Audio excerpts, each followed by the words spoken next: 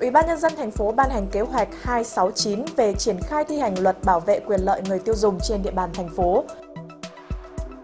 Mặc dù Ủy ban nhân dân thành phố đã có văn bản chỉ đạo các địa phương vận động hộ dân tại các chung cư, nhà tập thể tự giác tháo rỡ hoặc mở vị trí thoát nạn lồng sắt, chuồng cọp, tạo lối thoát hiểm, nhưng nhiều hộ dân khu tập thể cũ vẫn chưa thực hiện tháo rỡ chuồng cọp, tạo lối thoát hiểm,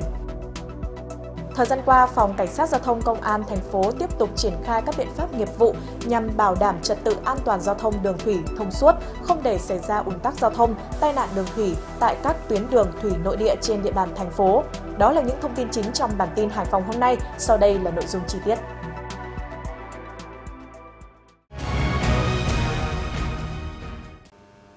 Thưa quý vị, Ủy ban nhân dân thành phố ban hành kế hoạch 269 về triển khai thi hành luật bảo vệ quyền lợi người tiêu dùng trên địa bàn thành phố, trong đó xác định rõ trách nhiệm và cơ chế phối hợp giữa các sở ban ngành địa phương và các cơ quan đơn vị liên quan trong các hoạt động triển khai thi hành luật bảo vệ quyền lợi người tiêu dùng trên địa bàn thành phố. Theo nội dung kế hoạch, Ủy ban nhân dân thành phố tập trung tăng cường công tác tuyên truyền, tập huấn, bồi dưỡng nghiệp vụ, phổ biến luật bảo vệ quyền lợi người tiêu dùng đến nhân dân, cán bộ, công chức, viên chức và người lao động nhằm nâng cao nhận thức và ý thức trách nhiệm của người dân trong tuân thủ luật bảo vệ quyền lợi người tiêu dùng trên địa bàn thành phố. Tổ chức hội nghị quán triệt, phổ biến, tập huấn chuyên sâu bằng các hình thức đa dạng, phù hợp với điều kiện, tình hình thực tế về luật bảo vệ quyền lợi người tiêu dùng. Cùng với đó, phối hợp với các cơ quan chuyên môn của Bộ Công Thương đề xuất hoặc tổ chức xây dựng, ban hành và triển khai thực hiện các dự án, đề án, chương trình, hoạt động cấp quốc gia về bảo vệ quyền lợi người tiêu dùng, thúc đẩy sản xuất và tiêu dùng bền vững hướng đến kinh tế xanh, kinh tế tuần hoàn. Ủy ban nhân dân thành phố vừa ban hành kế hoạch số 262 về xúc tiến đầu tư các lĩnh vực nông nghiệp, nông thôn giai đoạn 2023-2025 trên địa bàn thành phố Hải Phòng nhằm cải thiện môi trường đầu tư kinh doanh thuận lợi, tháo gỡ vướng mắc khó khăn với tinh thần đồng hành cùng doanh nghiệp từ cấp thành phố đến cơ sở. Theo đó, kế hoạch vận dụng các chính sách để khuyến khích doanh nghiệp đầu tư nghiên cứu phát triển sản phẩm phù hợp với định hướng phát triển kinh tế xã hội giai đoạn 2023-2025, thu hút đầu tư vào các nội dung ưu tiên, khuyến khích đầu tư trên từng lĩnh vực, trồng trọt, chăn nuôi, thủy sản, phát triển nông thôn và chương trình xã hội sản phẩm OCOP, du lịch nông thôn, xây dựng môi trường kinh doanh bình đẳng, gắn với yếu tố thị trường, hỗ trợ phát triển doanh nghiệp khởi nghiệp sáng tạo, thúc đẩy các thành phần kinh tế đầu tư phát triển, làm động lực phát triển bền vững, phát triển kinh tế nông nghiệp trên cơ sở tận dụng cơ hội từ quá trình hội nhập để nâng cao sức cạnh tranh, từng bước gia tăng giá trị sản phẩm theo hướng tăng liên kết chuỗi nông sản. Để chuẩn bị cho việc thực hiện bình chọn sản phẩm công nghiệp nông thôn tiêu biểu thành phố năm 2023, Sở Công Thương với vai trò là cơ quan thường trực Hội đồng bình chọn đã tổ chức các hoạt động kiểm tra thực tế tại những cơ sở sản xuất có đăng ký sản phẩm tham gia bình chọn, ghi nhận công tác khảo sát tại huyện Cát Hải, địa phương có 16 sản phẩm tham gia bình chọn năm nay. Sau khi tham quan và kiểm tra thực tế, đoàn khảo sát nhận định tại hai cơ sở đã đưa máy móc thiết bị vào sản xuất được hỗ trợ theo chương trình khuyến công của thành phố. Cụ thể là máy đánh đảo trượp và các công nghệ nổi hơi, chiết xuất chân không tách muối hiện đại giúp nâng cao chất lượng thành phẩm, giảm độ mặn, tăng độ đạm cho sản phẩm nước mắm truyền thống của địa phương.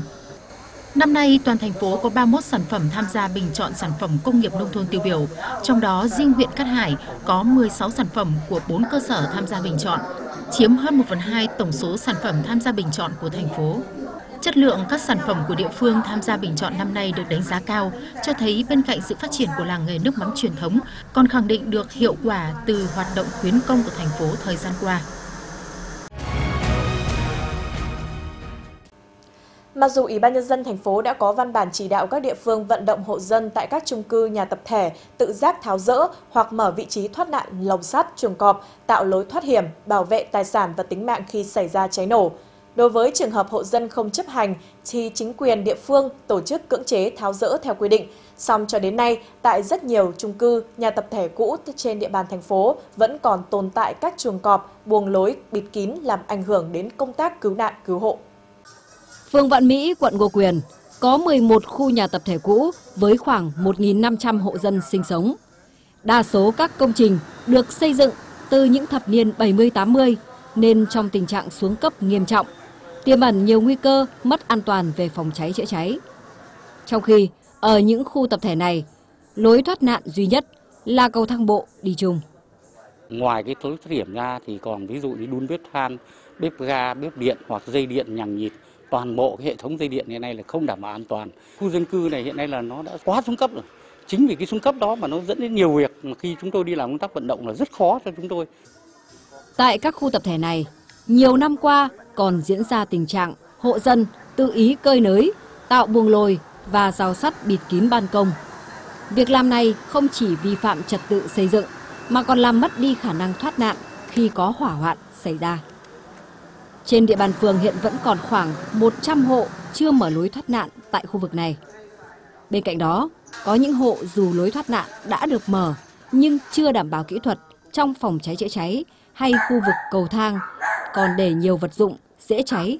che chắn lối đi. Trước thực trạng không đảm bảo về an toàn phòng cháy chữa cháy tại khu tập thể cũ Vạn Mỹ, quận Ngô Quyền, tại buổi kiểm tra liên ngành thành phố vừa qua, lãnh đạo Ủy ban nhân dân thành phố đã yêu cầu chính quyền địa phương, các tổ chức cá nhân cần thực hiện nghiêm túc các văn bản chỉ đạo của thành phố, xử lý nghiêm các trường hợp vi phạm trật tự xây dựng, đặc biệt là vi phạm liên quan đến phòng cháy chữa cháy.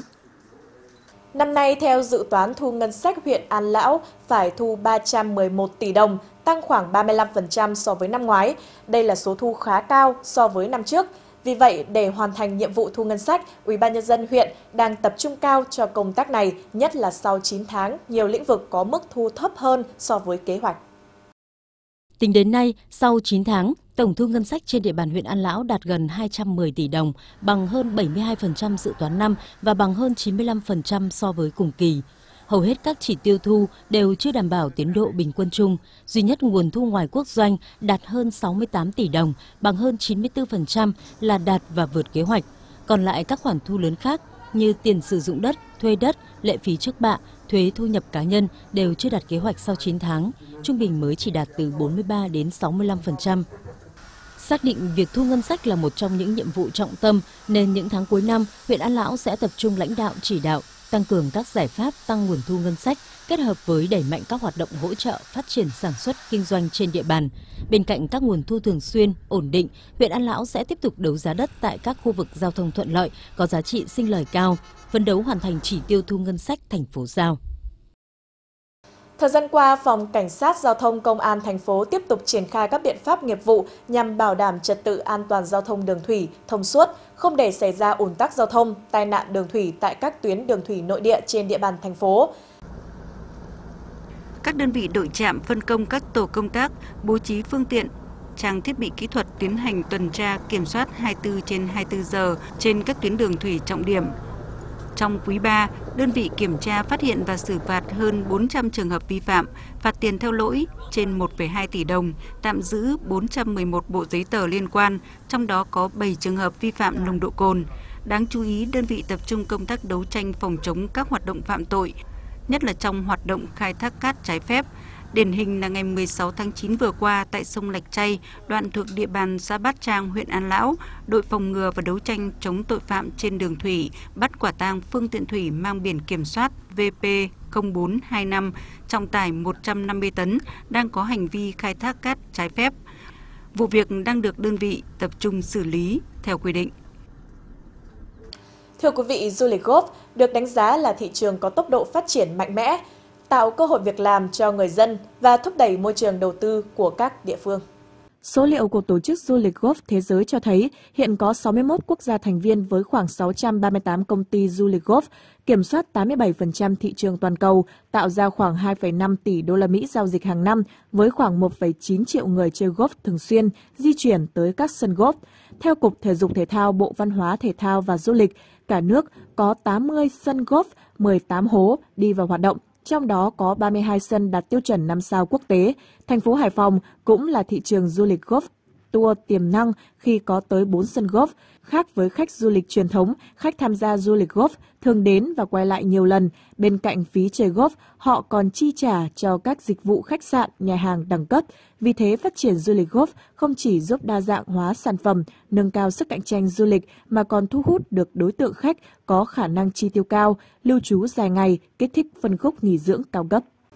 Thưa quý vị, đến đây thì thời lượng bản tin Hải Phòng hôm nay ngày 17 tháng 10 cũng đã hết. Quý vị có thể xem lại chương trình tại địa chỉ website thp.vn, ứng dụng THP On và các nền tảng số của Đài Phát thanh và Truyền hình Hải Phòng. Xin kính chào tạm biệt và hẹn gặp lại trong các chương trình sau.